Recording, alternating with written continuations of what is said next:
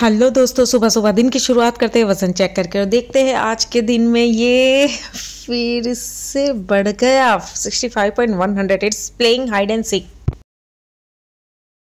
अभी बज रहे सुबह के 11 और मुझे लगी है भूख और दिन की शुरुआत में करने जा रही हूँ इस वाटरमेलन के साथ। जी हाँ।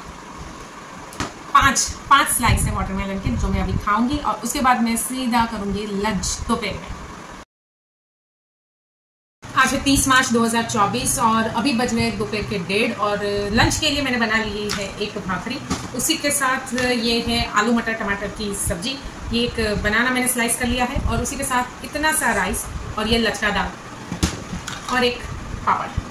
तो बस यही है आज का मेरा लंच का मेनू। आज ना लंच के बाद कुछ हटके खाने का मन हुआ तो मैंने कल वाली जो ओट्स कुकीज़ बनाई थी, उसमें से एक कुकी खा ली थी।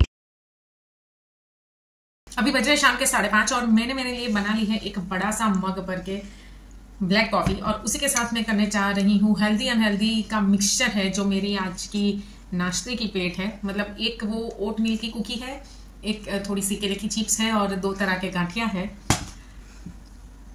खाना ज़रूरी है क्योंकि बस अब दो एग्ज़ाम्स बचे हैं बोर्ड के। एक कल है, दूसरा दो अप्रैल को है। बस ये खत्म हो जाए। बस। आज रात को डिनर के लिए बना लिया था मैंने गांठिया, टमाटर की सब्ज़ी और उसी के साथ गर्मा गर्म पराठा। तो मैंने इतनी सी सब्ज़ी खाई और फिर ये एक पराठा भी लिया और मुझसे ना रहा गया। मैंने एक दूसरा पराठा भी खाया जिसका फ़ोटो क्लिक करना रह गया है। तो दोस्तों, आज की मेरी healthy, unhealthy weight loss journey यहीं ख़त्म होती है। मिलते हैं कल नई सुबह के साथ। तब तक के लिए tata, good bye, take care, have a good day.